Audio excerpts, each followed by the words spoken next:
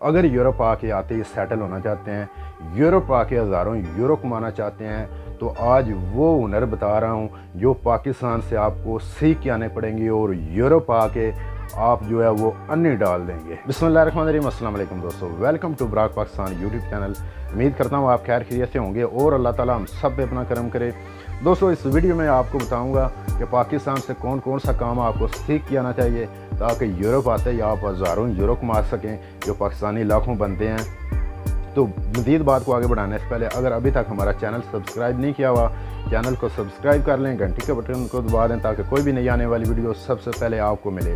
اور اگر فیس بک پہ ویڈیو دیکھ رہے ہیں، تو فیس بک پیج کو لائک اور فالو کر لیں اور کمنٹس کر کے اپنی رائے ضرور دیا کریں۔ ویڈیو لائک ضرور کیا کریں، کیونکہ آپ بہت کنجوسی کرتے ہیں ویڈیو لائک کرتے ہوئے۔ دوستو، سب سے پہلے تو کچھ دن پہلے میں نے ایک رومانیہ کی ویڈیو بنائی تھی اور کچھ ایسے حسد کرنے والے لوگ ہوتے ہیں جو ایک لاکھ میں سے تقریباً دس سے پندرہ بندے ہوتے ہیں اور ان بندوں کو اتنی تکلیف ہوتی ہے کہ کوئی بندہ سیدھی بات کسی کو کیوں بتا رہا ہے؟ کیونکہ میں آپ کو بتایا تھا اس ویڈیو میں کہ ایجنٹ مافیا کے ہتھے نہیں چڑھیں۔ یہ طریقہ اصل یورپ آنے کا اور یہی طریقہ ہے جو بغیر پیسوں کے آپ رومانیہ آ سکتے ہیں۔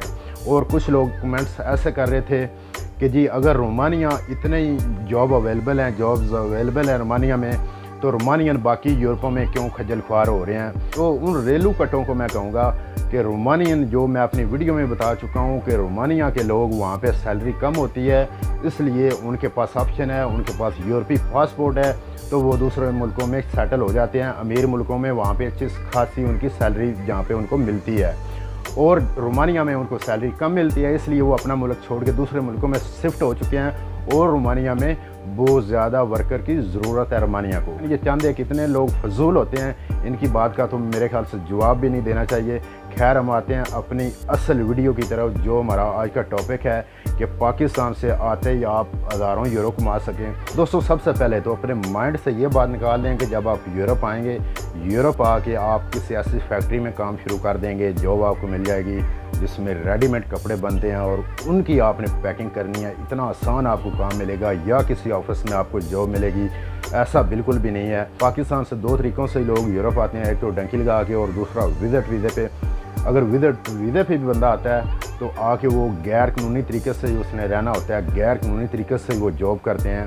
تو جب وہ غیر قانونی بندہ ہوتا ہے تو اس کے لیے جاب تلاش کرنا بہت ہی مشکل ہوتا ہے۔ اور آپ نے پاکستان سے کون سا ہنر سیکھ کے آنا ہے جو وہ ہنر جو بتا رہا ہوں، وہ آپ پاکستان میں کرنا پسند نہیں کرتے۔ سب سے پہلے جو مصریوں کا کام ہوتا ہے، جو دواروں کی چنائی ہوتی ہے، اگر مصریوں کا کام آپ سیکھ کے آ جائیں یا جو ٹائلیں مصرے لگاتے ہیں، اگر وہ سیکھ کے کام آ جائیں، تو یورپ آ کے فرانس یا اسپین میں آپ ایک سو یورو کی دیہڑی لگا سکتے ہیں، جو مہینے کا تقریباً آپ دو ہزار سے پچیس سو یورو کما سکتے ہیں اگر یہ والا کام سیکھ کے آتے ہیں۔ دوسرے نمبر پہ موبائل کی ریپیرنگ کا کام سیکھ کے آئیں وہ بھی اسپین فرانس یا کسی بھی دوسرے یورپی ملک میں آپ کو آسانی سے جاب مل سکتی ہے۔ تیسرے نمبر پہ فریج جو ہوتی ہے، اس کی ریپیرنگ کا کام سیکھ کے آئیں وہ کام اگر سیکھ کے آتے ہیں اور اس کے بعد یورپ جب پہنچتے ہیں اسپین چلے جاتے ہیں اسپین کا جو شہر ہے بارسلونا وہاں پہ اتنی زیادہ پاکستانیوں کی دکانیں ہوتی ہیں اور سب پاکستانیوں نے تقریباً سیکنڈ ہینڈ فریجیں یوز کرتے ہیں اور گرمیوں میں ان کی فریجیں بار بار خراب ہوتی ہیں۔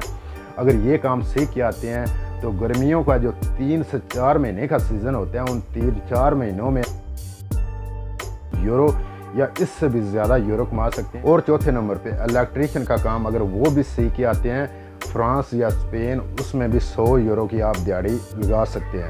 تو یہ تین چار کام سیکھ کے اگر آپ یورپ آتے ہیں، تو آتے ہی آپ جو اچھے خاصے یورو کما سکتے ہیں۔ اگر آپ کے پاس ڈاکومنٹ نہیں بھی ہے، آپ کے پاس ہنر ہوگا اور آپ جو دھکے کھانے ہیں، ادھر یورپ آ کے جیسے لوگ کھاتے ہیں ان دھکوں سے بچ جائیں گے اور آتے ہی سیٹل ہو جائیں گے تقریباً یورپ میں۔ تو امید کرتا ہوں ہمیشہ کی طرح آپ کو ویڈیو